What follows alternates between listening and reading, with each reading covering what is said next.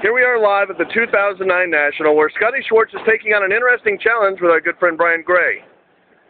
He is going to tear up these autographed Michael Vick lithographs.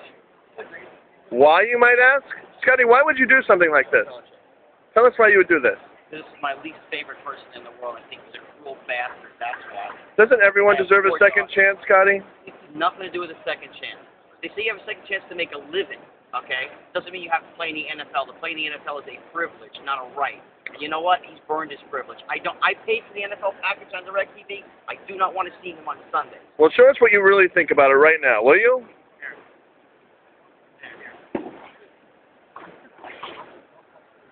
going. You got lots to go, baby. Oh, yeah, you got it. Keep going.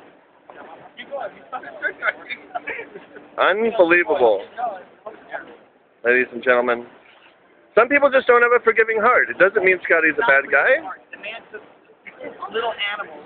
He strangled them, Keep going. drowned Here, them. I'm talking here. I'm talking, old babe. Here. Do you think Lisa Gleave behind you would support this course of action? Absolutely.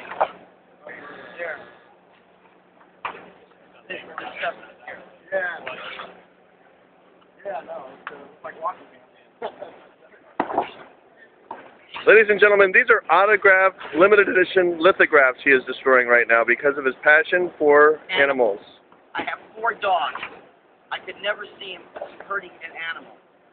I, I, I, you know, vicious or not, it doesn't matter. Now, Scotty, And wait, and wait, do you know that he took a chihuahua and threw a chihuahua into a ring with pit bulls so they could basically destroy the chihuahua and eat it and tear it to shreds? Thank Terrible. You. Okay? There's second chances and then there's, come on, you know. Yeah.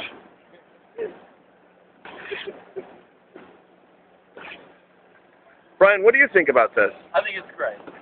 I'm a big Michael Vick fan, not, but no, this is great. Why did you don't put their money where their mouth is? But I think it's fan. So you actually charged Scotty for these pieces he's destroying? Way less than I paid because I don't want to make a profit on this stuff. Fair enough, sir. You got a dog? You got any animals home? yeah, this is what of the guy with the animals. The money was actually a cleanup fee for after he's done there. Oh, by the way, this is no reflection on PSA or Upper Deck or whoever got these whatsoever. You hear, heard it here first, first, folks. Scotty Schwartz. Very good video. You got, you got to send this to me. I got to have it. You will. As will, as will all the millions of people watching around the world.